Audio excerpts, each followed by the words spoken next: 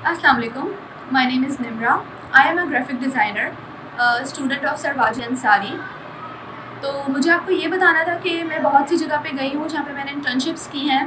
तो वहाँ पर मुझे सरवाजी अंसारी और दूसरे लोगों के मुताबिक जो मैंने कंपैरिजन किया काम को तो मुझे उन लोगों का इतनी क्रिएटिविटी उन लोगों के काम में नज़र नहीं आई जितनी क्रिएटिविटी सरवाजी अंसारी के काम में है।